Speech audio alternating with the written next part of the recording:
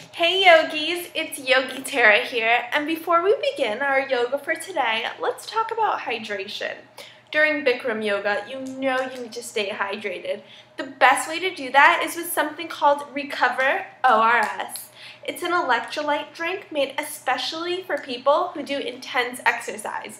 It's totally natural and has no preservatives, so I highly recommend you get this great product. I got mine on Amazon. Don't do yoga without it.